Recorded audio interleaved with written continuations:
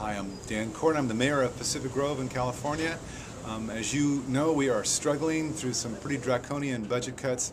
We want to keep our wonderful city afloat, and we hope that you in Sacramento do the right thing, help us balance our budget, help us stay physically, fiscally sound and, and healthy through the coming year. We'll give you any help we can, we can, but we rely on you not to take money away from our city.